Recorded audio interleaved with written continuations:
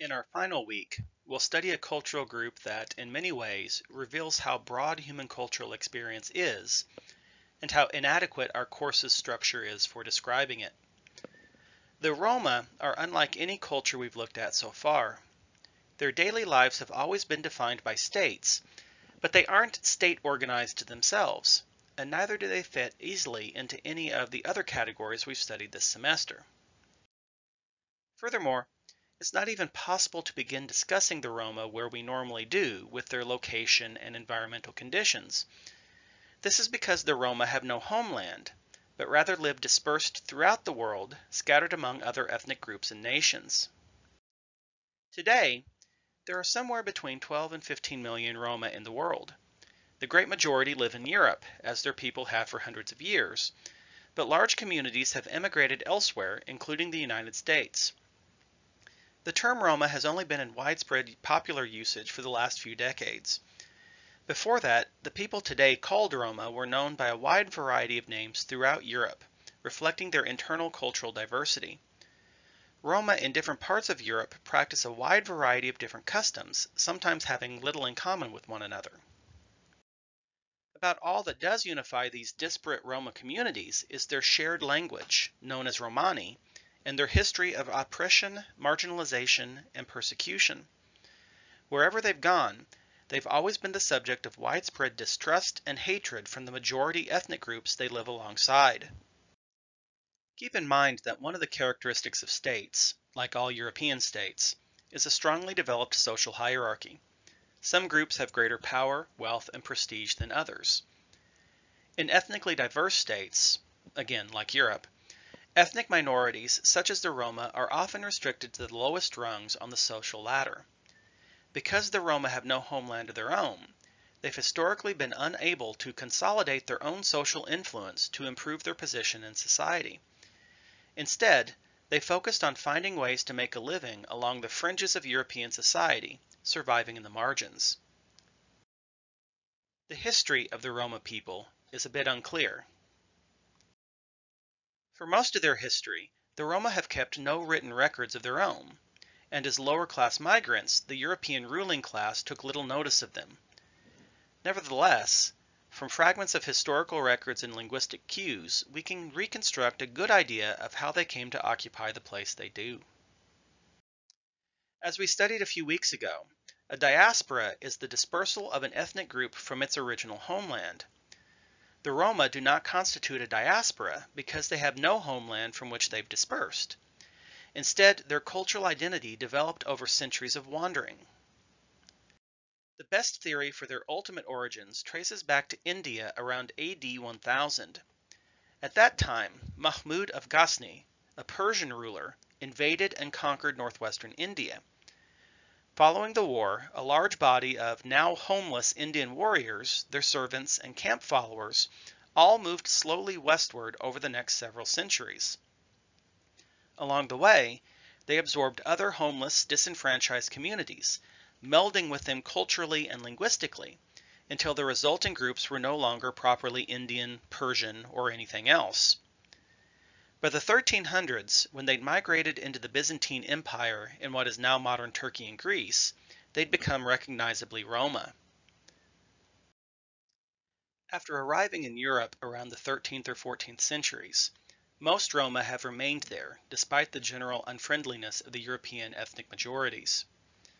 Europe in the Middle Ages was already densely populated by complex and well-developed states, but it was also politically and economically highly unstable. The influx of a large number of poor foreigners was not welcomed by most European communities. Being landless and unwelcome, the Roma had little choice but to adopt a nomadic lifestyle. They couldn't farm, so they took up occupations that could be practiced while on the road. We'll look more closely at this service nomadism in a bit, but for now, let's focus on what it meant for the Roma's history. In Eastern Europe, where most Roma could be found in the Middle Ages, the skilled crafts they practiced, such as metalwork, music, carpentry, etc., led to their eventual enslavement Eastern European elite, seeing a highly skilled but politically vulnerable source of labor, reduced the Roma to slaves in the middle part of the 14th century. Roma slaves in Eastern Europe were not freed until 1864. It's in Western Europe that the aspects of Roma culture most familiar to Americans can be seen. Roma entered Western Europe in the 15th century, fleeing persecution and enslavement in the East. Knowing by now to expect resistance, they adopted a variety of strategies to smooth relations. As they moved through the continent, they told the settled communities they passed through that they were Christian pilgrims headed for some far off religious center. Medieval Christians held pilgrims in the highest regard and thus were less likely to harass the Roma. It's from this little white lie that the English term for Roma, gypsy, probably derives. Some Roma groups probably claim to have come originally from Egypt, where English people were vaguely aware of a large Christian community. It should be noted, however, that today many Roma people consider the term gypsy to be a racial epithet. We should instead use their preferred term for themselves, which is Roma.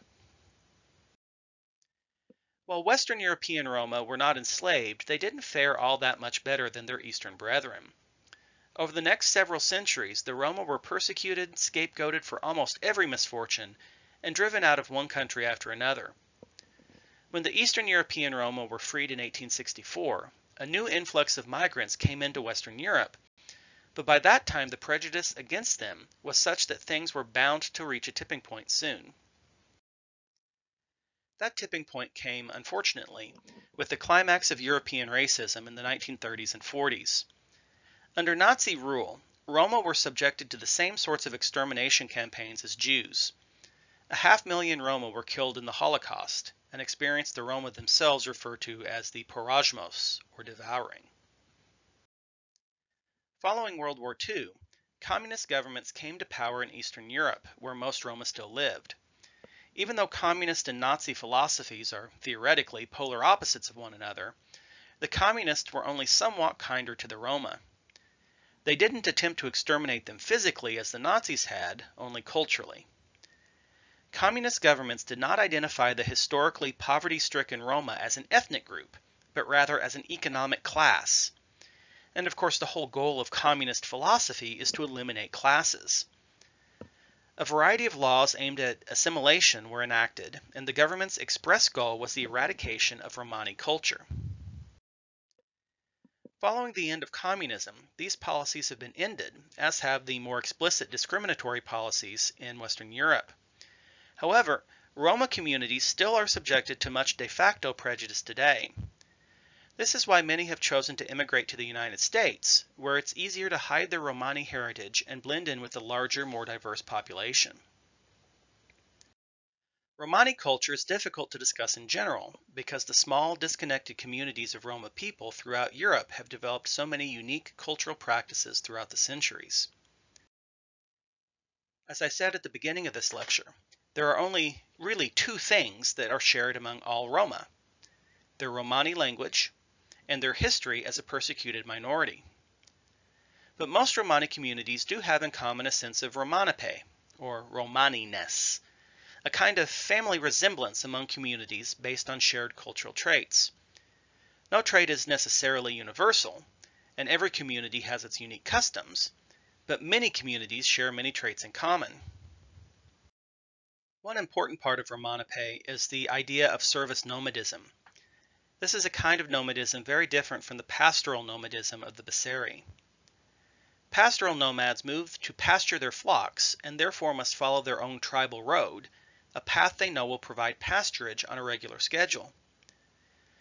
The Roma's service nomadism, on the other hand, is based on providing services that sedentary populations need. It can be practiced anywhere people live, so the Roma don't need to follow any set path or cycle of migrations. They can go anywhere and be reasonably confident of finding work. So how did this practice evolve? First, the nomadism part.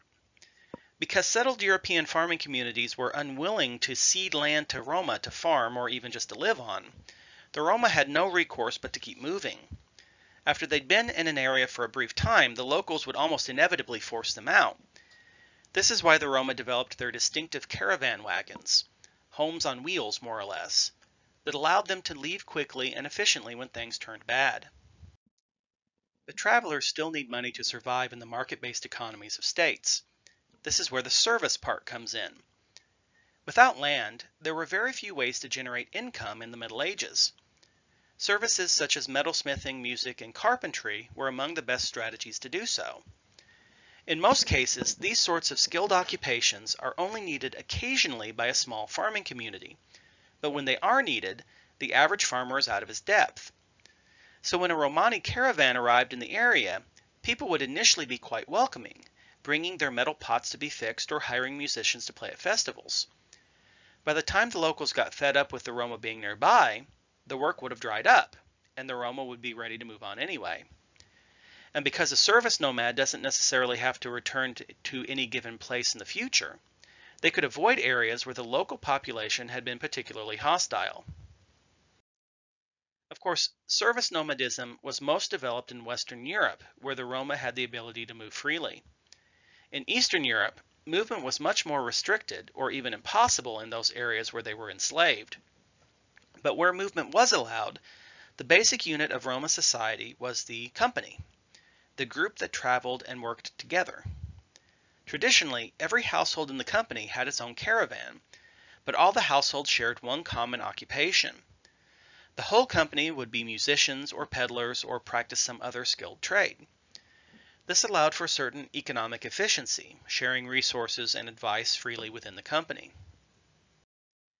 The social structure within the company is one of the aspects of Roma culture that varies widely from one part of Europe to another. To simplify things, let's look at the organization of the Vlachs Roma from modern Romania. Among the Vlachs, the largest division is into four groups known as nations, the Călduraș, Lovara, Curara, and Macvaia. Each of these names derives from the occupation its members pursue. Călduraș, for example, derives from the same root as cauldron, and the Călduraș were traditionally metalworkers.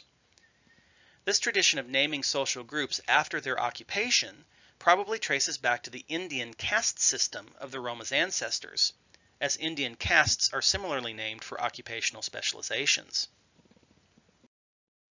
Each nation is divided into several patrilineal clans, and each clan is then further divided into extended family lineages. The lineage is the largest kinship group that normally cooperates. However, a single company will usually have members of several lineages, clans, and at least a few members of different nations. Lineages are exogamous, but spouses may belong to the same clan or nation. In terms of religion, the Roma are quite diverse. Over time, they've adopted the religions of the dominant ethnic groups in their regions. In Catholic nations like France, Roma tend to be Catholic, for example. But in Muslim regions of the Balkans, they practice Islam. They layer these larger religious traditions with a few unique practices of their own to inject a bit of Romanipe into their worship. The most distinctly Romani beliefs about the supernatural relate to an essential dualism in the universe. Everything has its opposite, and these two are to be kept separate except under carefully prescribed circumstances. Ideas of purity and pollution are central in daily activities, and maintaining purity is essential. Politically, the Roma present a conundrum. As part of European society, they theoretically exist as part of the same state organizations as their neighbors, subject to the same laws and leaders as everyone else. But as outsiders and nomads, they've always existed somewhat outside those structures. Internally, most Roma communities are normally very egalitarian, with decisions made based on consensus and debate, much like the kind of debate we'd see in tribal groups like the Yanomami or Trobrianders. However, in certain grave circumstances, a much more hierarchical structure emerges. Among the Vlachs Roma, this is known as the Kris, a traditional tribunal convened to resolve disputes of great significance to the company. In a Kris, Several elders of the company are appointed by the company and granted absolute authority to make final binding rulings. The judges are tasked first with investigating the dispute, often some serious offense like murder, determining guilt, and, if necessary, punishment. While everyone in the company can attend the Kris, only the judges may speak. Outsiders are absolutely forbidden from attending. If a punishment is deemed necessary, there is no appeal or avoiding it. The worst possible punishment is exile from the company. For an underclass, persecuted minority, exile is worse than death as it separates the guilty party from the support of one's Romani peers, livelihood, and even identity. The Kris is much more hierarchical than normal egalitarian Roma decision making. This illustrates the somewhat chimeric nature of Romani culture, combining cultural patterns we see elsewhere in very different groups. It's probably a consequence of the Roma's history of just trying to get by and using whatever tools are available for the task of survival. But it also shows how inadvisable it is for anthropologists to become too reliant on the analytical categories we use to describe a culture. Cultures are, after all, made by people, and people don't always play by the rules others create. So are the Roma egalitarian, hierarchical, tribal, something else? It ultimately doesn't matter, so long as we learn something about human experience from the ways that they found to survive in a world that hasn't made them feel particularly welcome. In the end, that's probably the greatest testament to Romani culture, that despite their long history of persecution and unfair treatment, the Romani people have endured and maintained their cultural identity. Today, millions of Roma live all around the world. Many are still, unfortunately, poor and socially disenfranchised. But in recent decades, many have chosen to settle into permanent homes and begun to improve their standard of living. The nomadic lifestyle is still a major part of Romanipe, but it's no longer a necessity for survival. And that's a good thing.